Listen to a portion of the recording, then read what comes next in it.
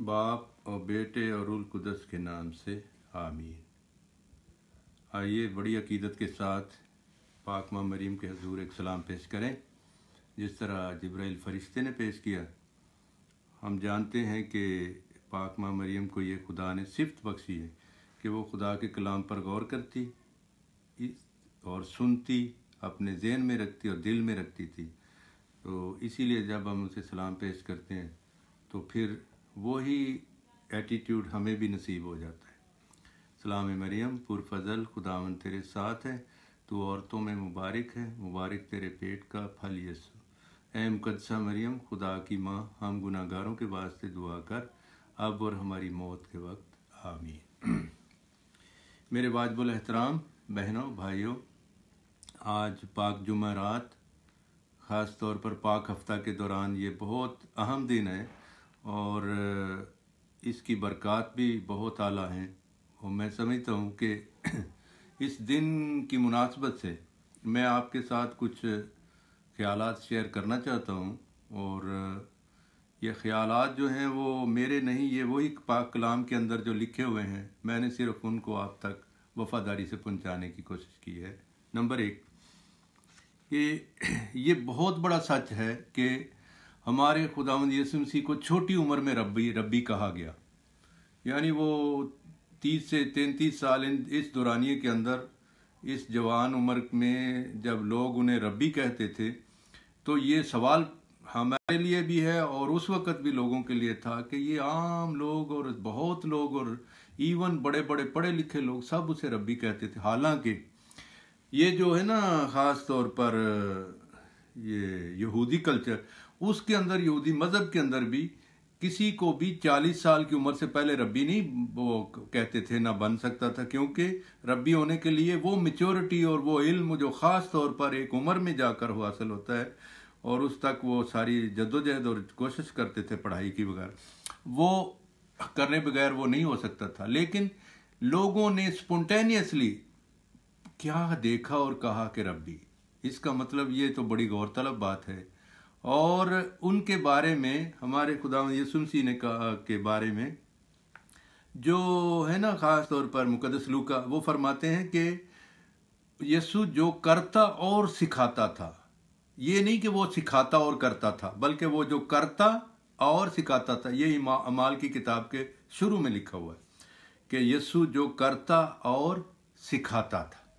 یعنی ان کا طریقہ کار یہ تھا کرنا اور سکھانا یعنی کرنے سے by doing he was teaching اور عام طور پر اس وقت کے ربی یا اس سے پہلے کے ربی یہ ان کا طریقہ کار تھا کہ ان کے اپنے اسکول تھے، اپنے ادارے تھے، خاص طور پر اپنے درس گاہیں اور مکتب تھے جن میں وہ سکھاتے تھے، جیسے ربی عقیبہ ہو گئے، ربی شمی شمی ہو گئے، ربی ہلل ہو گئے، سب بڑے بڑے ربی حنان ہو گئے جو وہ سکھایا کرتے تھے۔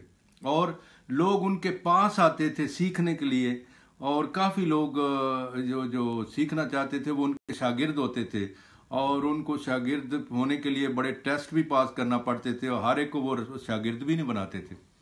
تو ہمارے خداون نے بالکل ایک مختلف اور جس کو کہنا چاہیے، ان کے بالکل جو متضاد ہے، وہ طریقہ کار اپنایا۔ وہ تھا کہ کوئی سکول نہیں اور کوئی اپنا مکتب نہیں، بلکہ یہ زندگی اور لوگ۔ زندگی جو لوگ جی رہے ہیں، اسی کو اس نے اسکول بنایا اور اسی لیے زندگی اس کا اسکول تھا مکتب، اس مکتب تھا۔ اسی لیے وہ ادارے میں نے لوگوں کو نہیں بلایا، بلکہ خود لوگوں کے پاس گیا۔ جہاں وہ تھے، جس حالت میں تھے، جہاں وہ کام کرتے تھے، ان کے پاس گیا۔ اور شاگردوں نے آ کر استاد کو نہیں چنا۔ کمال یہ ہے کہ استاد نے خود جا کر شاگردوں کو چنا۔ وہ جھیل کے کنارے ہوں، وہ محصول لینے والے، وہ چنگی پہ ہوں، کسی جگہ بھی ہوں۔ شاگردوں کو چنا۔ یعنی یہ شاگردوں کے لیے بڑے اعزاز کی بات ہے کہ ان کا استاد ان کی زندگی میں جہاں وہ ہیں، ادھر آ کر ان سے ملتا ہے اور ان کو چنتا ہے۔ تو اس گریٹنس کی، اس بڑی سچائی جو ہے، اس کو سامنے رکھتے ہوئے، اور یہ کہ اس نے زندگی میں جا کر سبق دیا ہے اور زندگی سے سبق دیا ہے اور اپنی زندگی سے ان کو سکھایا ہے۔ اس لیے میں سمجھتا ہوں کہ یہ جو استاد ہے، یہ دیکھنے والا، کیونکہ وہ ساڑھے تین سال کی خدمت، ساڑھے تین سال کی علانیہ خدمت کر کے پھر وہ اس مقام تک پہنچا ہے کہ کیا کر رہے ہیں؟ کہ اپنے سارے سبق کو، اپنی زندگی کے سارے جتنا بھی وہ سکھا، سکھایا ہے، وہ سکھانا ہے یا جتنا وہ سیکھا ہے جو بھی ہے وہ جتنی ٹیچنگز ہیں، وہ سارے کی ساری کس طرح آ کر وائنڈ اپ کرتے ہوئے، ان کو اپنے بہت معتبر طریقے سے وائنڈ اپ کرتے ہوئے، اور بہت خوبصورتی کے ساتھ اس مقام پر پہنچا آج پاک جمعرات کے دن، کہ ایک ہی وقت میں دو بڑے کام کیے ہیں۔ ایک کھانا آخری کھایا اور ایک اپنے شاگردوں کے پاؤں دھوئے۔ شاگردوں کے ساتھ کھانا کھایا اور شاگردوں کے پاؤں دھوئے۔ اور ابھی یہ دیکھنے والی چیز ہے دو واقعات ہیں جو خدا یسمسی نے کیا آج کے دن۔ آج کی شام۔ ایک، میری پہلے تو دعا ہے کہ یہ برکات جو ہیں، پاک جمعرات کی، یہ آپ تک پہنچیں اور کثرت سے پہنچیں۔ اور دوسرا، یہ بھی میری دعا ہے کہ خدا پاک یہ جو پاک جمعرات ہے اس کی روحانیت اور خاص طور پر ہمارے خداوند کے پاؤں دھونے کی رسم رسم نہیں اس نے کی، پاؤں دھونے کا جو عمل کیا اور خاص طور پر جو آخری کھانا کھایا، اس بڑی روحانیت اور بانٹنے کی اس بڑی روحانیت کے ذریعے سے خدا آج جو دنیا کو یہ درپیش چیلنج ہے اور درپیش بہت بڑا ان کے سامنے بہت بڑی ایک طرح سے بہت بڑا المیہ ہے، اس کو فیس کرنے اور اس کے اوپر فتح پانے کی طاقت ہے۔ کیونکہ خدا یسو مسیح کی روحانیت اور اس کی دی ہوئی، دیا ہوا درس اور دی ہوئی جو بھی جو بھی تعلیمات ہیں خاص طور پر آج پاک جمعرات کی، وہ ضرور ہماری مدد کرتی ہیں کہ ہم یہ جو کرونا وائرس ہے اور اس سے متعلقہ جو جتنے بھی سارے پھیلے ہوئے ہمارے مسائل ہیں، ان کو وہ اس پر فتح پانے کے لیے ہماری مدد فرمائے۔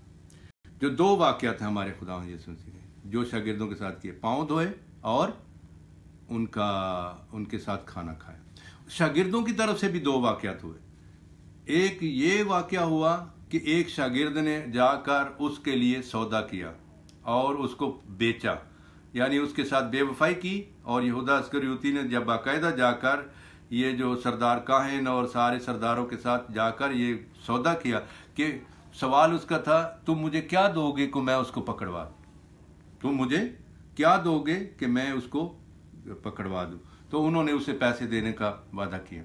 یہ اس لحاظ سے میں سمجھتا ہوں کہ انہوں نے بہت زبردست طریقے سے اس کو پلاننگ کی اور یہودا کو اندر لیا۔ اور میں میرے خیال میں یہ سمجھیے کہ یہ دو واقعات، ایک یہ جو یہودا نے کیا اور ایک سارے شاگردوں نے اسی میز کے ارد گرد بیٹھے ہوئے وہ آخری کھانا کھاتے ہوئے یہ سوال کیا تھا کہ ہم میں سے بڑا کون ہے؟ ہم میں سے بڑا کون ہے؟ خداون کے دونوں واقعات یاد رکھیے۔ ایک یہ کہ اس نے پاؤں دھوئے اور دوسرا شاگردوں کے پاؤں دھوئے۔ اور دوسرا شاگرد اس کے مقابلے میں یہ سوال کر رہے ہیں کہ ہم میں سے بڑا کون ہے۔ اور دوسری طرف اس نے روٹی لے کر شکر کر کے توڑ کے یہ دیتے ہوئے کہا، یہ لو کھاؤ، یہ لو کھاؤ۔ اور تم بھی یہی کرنا، یہ لو کھاؤ۔ اور اس وقت دوسری طرف یہ شاگرد جا کر کہتا ہے، روٹی بھی لی، کھائی بھی، اور شاگرد کا شاگرد کو سبق نہیں سمجھ میں آئے۔ اور جا کر کیا کرتا ہے؟ کہتا ہے، تم مجھے کیا ملے گا، مجھے کیا ملے گا؟ اس لیے یہ دو کنٹراسٹ رویے ہیں۔ ایک، پاؤں دھونا اور کہنا شاگردوں کی طرف سے ہم ہم میں سے بڑا کون ہے؟ اور دوسری طرف، یسو کا یہ کہنا کہ یہ لو کھاؤ اور شاگرد کا جا کر۔ تو یہ دونوں متضاد رویے ہیں۔ یعنی ہمارے خداوند نے کیا سکھایا اور شاگردوں کی طرف جو جو رد عمل ہے، وہ والا بھی دیکھنے والا۔ اس لیے ہمارے لیے بڑا سبق ہے کہ ہم کس پر فوکس رکھے ہوئے ہیں۔ ایک ایک نے پاؤں دھوئے اور دوسرے نے کہا، ہم میں سے بڑا کون ہے؟ ان کی فکر یہ تھی کہ ساڑھے جو بڑا کیڑا ہے، ان کی فکر دیکھیے اور وہ پاؤں دھو کر دکھا رہا ہے کہ بڑا ہونے کے لیے یہ کرنا پڑتا ہے۔ اور دوسرا رویہ جو تھا کہ روٹی لے کر اپنے منہ میں نہیں ڈالی، دے کر دیتے ہوئے کہا، یہ لو کھاؤ، یہ لو کھاؤ۔ اس لیے میں سمجھتا ہوں کہ یہ لو کھاؤ میرے لیے بہت اہم ہے، یہ لو کھاؤ، کیونکہ یہ عمل جو کر سکتا ہے وہ اس کی وفاداری میں اور وہ اس کی یادگاری میں کچھ کر رہا ہے۔ جو یہ نہیں کر سکتا، اس کا رویہ دوسرا ہوگا۔ یعنی وہ شاگرد جو جا کر کہتا ہے، مجھے کیا ملے گا؟ مجھے کیا ملے گا؟ اور ایک کہہ رہا ہے، یہ لو۔ اور یہ لو اور مجھے کیا ملے گا؟ دو کنٹراسٹ ہیں، جو دو آپس میں یہ کاؤنٹر ہیں۔ اور میں سمجھتا ہوں کہ یہ ضرور غور طلب چیز جو ہے کہ ہمارے خداون نے آخر کیا کیا ہے اور سکھانا کیا چاہے دینا کیا چاہے نمبر ایک۔ خداوند یسو مسیح پاؤں دھونے سے صرف یہ نہیں کر رہے کہ ان کو خدمت سکھا رہے ہیں۔ خدمت تو وہ پہلے بھی بتاتے آئے ہیں کہ ابن آدم خدمت کروانے کے لیے نہیں، خدمت کرنے کے لیے آیا ہے۔ لیکن آج اتنا ٹھوس اور کانکریٹلی اور فزیکلی اور اپنی باڈی کے ساتھ، اپنے جسم کے ساتھ کیوں کر رہے؟ جیسے کوئی انکرنیٹڈ لیسن ہے جو کوئی انکرنیٹڈ ہی سکھا سکتا ہے جو جسم کا سبق جسم سے ہی دیا جا سکتا ہے، وہ کیا ہے؟ کہ ہمارے خداوند نے صرف اور صرف سبق نہیں دیا، اپنے آپ کو اپنے شاگردوں میں منتقل کر دیا، اتار دیا ہے اور انہیں بھی کرائسٹ لائک بنا دیا، مسیحی بنا دیا، مسیح یعنی وہ بھی اب مسیح کی طرح ہوں گے۔ اسی لیے ان کے پاؤں کو ٹچ کرنے، اس کا مطلب ہے ہماری آج کی جو میڈیکل سائنس ہے، وہ بتا رہی ہے کہ اگر کسی کی اینجیو پلاسٹی اینجیوگرافی وہ کرتے ہیں نا، وہ کسی کا وہ یہ جو دل کا آپریشن تو وہ پاؤں کے پاس سے شروع ہوتی ہے اور پھر دل تک پہنچتی ہے۔ گویا، اگر کوئی ہاتھ لگا رہا ہے پاؤں کو اور دھو رہا ہے، تو یہ ہاتھ لگ رہے ہیں اس کے پاؤں کے۔ اس کا مطلب ہے کہ استاد خود منتقل ہو جانا چاہتا ہے اپنے شاگردوں میں۔ خود ٹرانسفارم ہو جانا چاہتا وہ ٹرانسفر ہو جانا چاہتا ہے ان کے اندر۔ اور اب وہ پھر وہ نہیں رہیں گے، پھر وہ یسو ہو جائیں گے، پھر وہ مسیح ہو جائیں گے، اس لیے جدھر بھی جائیں گے، وہی ساری عادات، وہی رویے اور وہ روحانیت ان کو آئے گی۔ اس لیے یہ خدمت تو ایک بظاہر ایک لفظ ہے، لیکن حقیقت میں یہ ہے کہ میں جو کچھ کرتا ہوں، وہ سکھاتا ہوں۔ وہ دیا ہے آپ نے۔ اور کبھی کوئی دنیا کا استاد یہ نہیں کرتا، ہمارے خدا یسوع مسیح نے وہ کیا جو حقیقت میں پوری انسانیت کے لیے سبق ہے، پوری انسانیت کے لیے کہ میں نے لکھا، اے یروشلم، تیری دہلیز پہ کھڑے ہو کے سکھایا۔ اے یروشلم، تیری دہلیز پہ کھڑے ہو کے سکھایا۔ ایک ربی نے تیرے بچوں کو رو رو کے سکھایا۔ ایک ربی نے تیرے بچوں کو رو رو کے سکھایا۔ کاش وہ سبق روح انسانیت میں اتر جائے اسد۔ کاش وہ سبق روح انسانیت میں اتر جائے اسد۔ میرے شافی نے جو شاگردوں کے پاؤں دھو کے سکھایا۔ میرے شافی نے جو شاگردوں کے پاؤں دھو کے سکھایا۔ اس لیے میں سمجھتا ہوں کہ پوری انسانیت کے لیے کچھ اس کے اندر ہے اور وہ لے تو انسانیت کی فلاح ہے، اس کا بھلا ہے۔ اور اسی لیے وہ انکرنیٹ ہو رہا ہے سبق، وہ اندر جا رہا ہے۔ اور اسی لیے میں سمجھتا ہوں کہ شاگردوں کو اس نے یہ پاؤں دھو کر بیٹھ کر اور وہ کپڑا جو غلام کا پہنا ہوا تھا، وہ اتار کر اب دوبارہ اپنے کپڑے پہن کر تسلی کے ساتھ بیٹھ کر سوال کیا کہ میں نے جو یہ کیا ہے، کیا تم سمجھے ہو؟ کیا تم سمجھے ہو؟ میں نے نمونہ دیا ہے اور اس لیے دیا ہے کہ تم بھی آپس میں ایک دوسرے کے ساتھ ایک دوسرے کے پاؤں دھویا کرو گے۔ گویا، پھر یہ سب سے بڑی مبارکبادی جو یوہنا کے اندر ہے، دو ہیں۔ ایک یہ ہے کہ اگر تم یہ سمجھ کر اس پر عمل کرتے ہو تو تم مبارک ہو۔ اگر تم یہ سمجھ کر اس پر عمل کرتے ہو تو تم مبارک ہو۔ گویا جو خدمت کرتا ہے وہ یسوع مسیح کی طرف سے مبارک ہے اور یہ مبارکبادی قبول کرتا ہے یہ دوسرا نقطہ جو میں آپ سے اسی پاؤں دھونے کے حوالے سے شیئر کرنا چاہتا ہوں وہ یہ ہے کہ حقیقت میں لیڈر وہ ہوتا ہے یا رہنما وہ ہوتا ہے جو دوسرے رہنما پیدا کرتا ہے۔ جس نے اپنی زندگی میں دوسروں کو رہنما نہیں بنایا، لیڈر نہیں بنایا، وہ کبھی بھی لیڈر نہیں ہوتا۔ یہ ہمارے خدا یسوع مسیح کی سب سے بڑی صفت تھی۔ کہ وہ دیکھنا چاہتا تھا کہ اس کے شاگرد گرو کر رہے ہیں، بڑھ رہے ہیں، اور بڑے ہو رہے ہیں۔ بلکہ یہاں تک بھی کہا کہ تم مجھ سے بھی بڑے بڑے کام کرو گے۔ یعنی وہ اپنے شاگردوں کی بڑھوتری اور ان کا آگے بڑھنا اور زیادہ ترقی کرنا، یا روحانیت میں اور اس کی تعلیم میں اور مسیح میں، اسی میں ترقی کر بڑھنا، یہ اس کو بہت پسند تھا۔ خود بھی ترقی کرنے والا، بڑھنے والا آدمی تھا۔ اسی لیے اس نے ہمیشہ تمثیلوں میں بتایا کہ یہ چھوٹی تمثیل جو چھوٹی سے بڑھتی ہے مثال کے طور پر یہ تھوڑا سا خمیر زیادہ، یہ تھوڑا سا نمک جو ہے وہ زیادہ ہو کر دیتا ہے۔ یعنی وہ ایک چھوٹا سا بیج، وہ بہت بڑا درخت بن جاتا ہے۔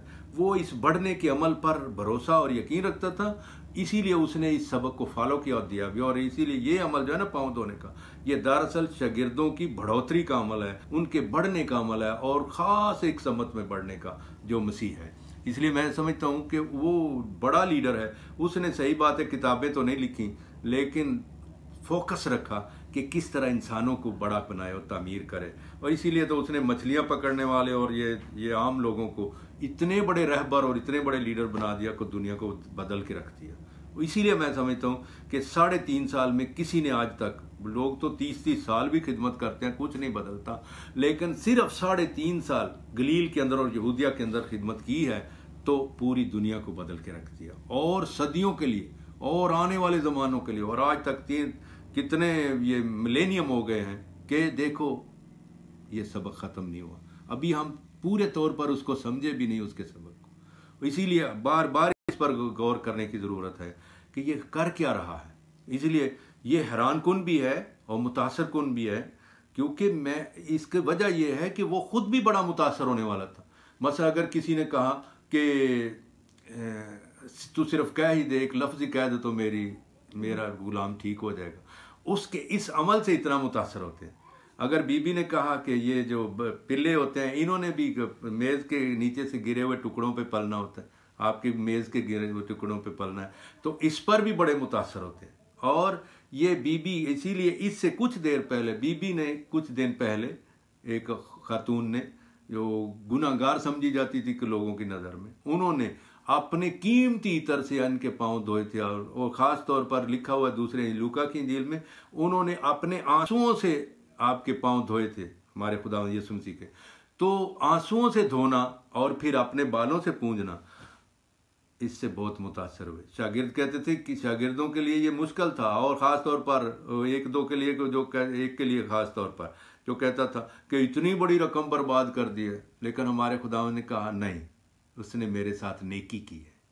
کیوں؟ کیونکہ جو تم نے بعد میں کرنا، اس نے ابھی کر دیا ہے۔ اور اس نے میرے دفن اور کے لیے جو رکھا ہوا تھا، ابھی کر دیا میرے جسم کو اس کے لیے۔ گویا، اس تم نے پاس کے بید میں بعد میں شریک ہونا ہے۔ اور اس نے ابھی شریک ہو گئی ہے اینٹیسپیٹ کر لیا اس کو جو تم بعد میں کرو۔ اس لیے وہ متاثر ہونے والا تھا اور اسی لیے وہ میں سچی بات ہے، یہ اصول ہے زندگی کا۔ جو کسی سے متاثر نہیں ہوتا، وہ کسی کو متاثر بھی نہیں کر سکتا۔ اس لیے ہمارا خداون چھوٹے پرندوں اور چھوٹے بیج اور ان ساری زندگی کے اندر جو خوبصورتی ان سے متاثر ہوتے تھے، اسی لیے تو انجیل کو یہ موتیوں کی طرح پیش کر رہے تھے۔ تو میں سمجھتا ہوں کہ یہ جو ہے نا، خاص طور پر یہ ان کی جو جو جو پاؤں دھونا ہے، یہ وہ گروتھ کا عمل تھا جو وہ ان کے لیے ہو رہا تھا، اور وہ شاگردوں کے لیے کہ وہ گرو کریں اور بڑھیں۔ اس لیے میں سمجھتا ہوں کہ یہ شاگردوں میں سے یہودا اسکریوتی نے جب یہ جملہ کہا جا کر کاہنوں کو کہ مجھے کیا ملے گا، وہ دراصل خداون یسوع مسیح کے اس سبق کی نفی تھی جو ہمارے خداون نے کہا تھا، یہ پاؤں دھو کر کہ جو بڑا ہونا چاہے، جو تم میں سے بڑا ہونا چاہے، وہ خدمت کرے۔ وہ خدمت بنے، آپ کا خادم بنے۔ وہ اس لیے یہ دو رویے ہیں، ان میں سے ہمارا چناؤ کیا ہوگا؟ خدا یسو مسیح کے دونوں رویے، پاؤں دھونا اور یہ کہنا، یہ لو کھاؤ۔ یہ لو کھاؤ۔ اور جب وہ کہتے ہیں نا، یہ لو کھاؤ، اس کا متضاد یہ ہے، مجھے کیا ملے گا؟ ہمیں فیصلہ کرنا ہے کہ مجھے کیا ملے گا؟ یہ چننا ہے یا یہ چننا ہے، یہ لو کھاؤ۔ اور اگر یہ کہیں گے یہ لوگ کھاؤ اپنی زندگی میں، تو پھر رسم ناصری ہوگی پوری۔ پھر وہ جو وفاداری ہے وہ پوری ہوگی۔ پھر وہ یادگاری ہوگی جو خدا نے کہا۔ اور اگر یہ کہیں گے مجھے کیا ملے گا، مجھے کیا ملے گا، تو پھر یہودا کی یادگاری ہوگی اور یہودا سے وفاداری ہوگی۔ یہ دونوں کو فیصلہ ہمیں کرنا ہے کہ کون سا رویہ چننا ہے۔ اور دوسرے بڑی بڑی بات جو شاگردوں کی طرف سے آئی تھی کہ ہم میں سے بڑا کون ہے؟ ہم میں سے بڑا کون ہے؟ کیونکہ یہی سب سے بڑی مصیبت اور بیماری ہے اور یہی سب سے بڑی ٹیمپٹیشن بھی ہے کہ انسان کو بڑا ہونے بڑا ہونے بڑا ہونے، یہ جو خاص طور پر اس کے ذہن میں ایک آزمائش کی طرح ہے، اس پر فتح پانے کے لیے اور خاص طور پر ہمارے خدا یسو مسیح کا جو جو پیروی ہے، اس کو مکمل کرتے ہوئے اس نے پاؤں دھوتے ہوئے کہا کہ بڑا ہونے کا مسئلہ نہیں ہے اور بڑا ہونے کا سوال بھی نہیں ہے۔ یہ بڑا ہونے کا جو چیلنج ہے، یہ بھی۔ یہ سب کچھ اگر تمہارے اندر بھی ہے، پھر بھی جس نے تمہارا بڑا ہوتے ہوئے اور استاد ہوتے ہوئے تمہارے پاؤں دھوئے ہیں، اس سے سیکھیے کہ وہ کتنا حلیم ہے۔ اور اسی لیے میں میں کہ سمجھتا ہوں کہ رحیم ہونا رحیم ہونا، یہ جو ہوتا ہے نا، رحیم ہونا یہ باپ کی صفت ہے اور حلیم ہونا یہ بیٹے کی صفت ہے۔ رحیم ہونا باپ کی صفت ہے اور حلیم ہونا بیٹے کی صفت ہے۔ یہ دونوں صفتیں لینی ہے باپ سے رحیم ہونا اور بیٹے سے حلیم ہونا۔ جس نے یہ دو لے لی وہ سمجھ جائے گا کہ سبق کہاں مکمل ہو رہا ہے۔ اس لیے میں سمجھتا ہوں کہ وہ جو ہے نا کھانے کی رسم، اس کو بھی باریکی سے سمجھنے والی بات ہے کہ ہمارے خداون نے رسمیں نہیں کی اس نے تو حقیقت میں آخری کھانا۔ آخری لفظ سے ڈر لگتا ہے کیونکہ آخری اس نے کیا کھانا تھا؟ بس حقیقت میں تو اگلا کھانا اس کو کھانے ہی نہیں دیا گیا۔ اور گرفتاری کے بعد آپ کو پتہ ہے، وہ ایک، یہ تقریباً تقریباً پوری رات اور اگلا دن یہ پورا عرصہ ہے جو بڑی تکلیف اور کھانے کے بغیر اور گزرے گا بڑے دکھوں میں۔ ویسے میں سمجھتا ہوں کہ یہ رات جو جمعہ رات کی رات ہے، یہ اس کی گرفتاری کی رات ہے اور اس کا اکیلے ہو جانا، تنہا ہو جانا، بے وفائی کا شکار کیا جانا، اس کو، اس کے شاگردوں کی طرف سے چھوڑ دیا جانا اور سب کا بھاگ جانا۔ اور وہ جو لوگ کہتے تھے، ہوش آنا ہوش آنا، وہ بھی چھوڑ گئے۔ اور کوئی نہیں ہے جو آج کپڑے بچھائے اور کوئی نہیں جو آگے پھر کھجوروں کی ڈالیاں۔ بس تنہا ہے۔ اور یہ آج کی رات جو ہے، یہ بڑی خوفناک اس حساب سے بڑی دردناک بھی ہے۔ اور میں سمجھتا ہوں، اس رات صرف ایک نقطہ ہے کہ وہ گت سمنی میں گرفتاری سے پہلے دعا کر رہا تھا۔ کیا کر رہا تھا، دعا کر رہا تھا۔ اور وہ دعا جو ہے، وہی بڑی قابل عزت اور کا بہت بہت اس کو غور طلب۔ مثال کے طور پر، وہ منہ کے بل گرا ہے اور شاگردوں کے ساتھ۔ منہ کے بل گرا ہے اور باغ باغ میں گرا ہے۔ منہ کے بل گرا ہے۔ اور سمجھیے کہ یہ باغ جو ہے، اس میں کچھ کمی تھی اور وہ شروع سے تھی۔ کیا کہ اس باغ میں ایک درخت ہے زندگی کا؟ اور اس کے قریب کوئی جانے نہیں دیتا۔ اور شروع سے منع کیا گیا، بلکہ یہ تلواروں والے کھڑے کیے گئے پیرا دینے کے لیے کہ کوئی بھی اس زندگی کے درخت کے قریب نہ آئے۔ آج گت سمنی میں منہ کے بل گرا ہے۔ وہ گرنے کی صفت اور گرنے کی عادت جو ہے، یہ صرف بیج کی ہوتی ہے۔ اور یسو گت سمنی میں بیج بن کے گرا ہے اور اس باغ کے اندر وہ اگا ہے۔ اگے ہے، اگا ہے ہمیشہ کے لیے۔ زندگی کا درخت بن کر جس کے گرد کوئی پہرا نہیں۔ یہ زندگی کا درخت تمہارے لیے کھلا ہے، سب کے لیے کھلا ہے۔ آؤ اور اس سے لو اور کھاؤ۔ اور اسی لیے اس نے اس سے، اس باغ میں آنے سے پہلے کہا تھا، یہ لوگ کھاؤ، یہ لوگ کھاؤ، یہ لوگ کھاؤ۔ یہ میں ہوں، یہ لوگ کھاؤ، مجھے کھاؤ، یہ میری زندگی ہے، اسے کھاؤ اور زندگی پاؤ اور کثرت سے پاؤ۔ اس لیے میں اس کو وائنڈ اپ کرتے ہوئے سمجھتا ہوں کہ آج کی شام اگر آپ خاموشی سے اس کے ساتھ صرف اور صرف جس طرح اس نے کہا، جاگو جاگو، اگر اس کے ساتھ جاگ سکے تو میرے خیال میں تم وہ وہ اس باغ کے اندر اگنے والا وہ زندگی کا درخت جو ہے، جو منہ کے بل گرا ہے۔ اب اس کے گرنے پر غور کرنا، منہ کے بل گرا ہے۔ تو گرنے کی اس لیے اس کی تمثیل میں بھی آپ کو پتا ہے نا کہ وہ کس طرح بتایا کہ وہ بیج ہے جو راہ کے کنارے بھی گرا، جو جھاڑیوں میں بھی گرا، جو پتھریلی زمین پہ بھی گرا، جو اچھی زمین پہ بھی گرا۔ یہ تو اس بیج کی صفت ہے کہ وہ بلا امتیاز اور بلا تفریق ہر ایک قسم پہ گرتا ہے ہر ایک قسم کی زمین پہ گرتا ہے۔ یہ بس اس بیج کا کمال ہے۔ آج گت سمنی کے باغ کے اندر اگر کوئی گرا ہے تو اس کو بیج کی نظر سے دیکھنا، پھر تمہیں زندگی کا درخت نظر آئے گا، پھر تمہاری ملاقات ہوگی۔ اور اس لیے میں اس شعر کے ساتھ میں آپ کے، آپ کو چھوڑتا ہوں، آپ کے پاس یہ پیغام دیتا ہوں کہ وچ گلیل دے ٹردا پھردا تے او محبوب ربانی، او وچ گلیل دے ٹردا پھردا، تے او محبوب ربانی۔ اکلوں شکلوں یوسف لگدا، تے راج خدا دا بانی۔ او گل گلیل دے لوکاں اندر تے کلمہ کلم زبانی او نال غریباں اٹھدا بیندا تے او دی خاص نشانی او ونڈ ونڈا کے کھالو مینوں تے میں روٹی اسمانی خدا آپ کو برکت دے۔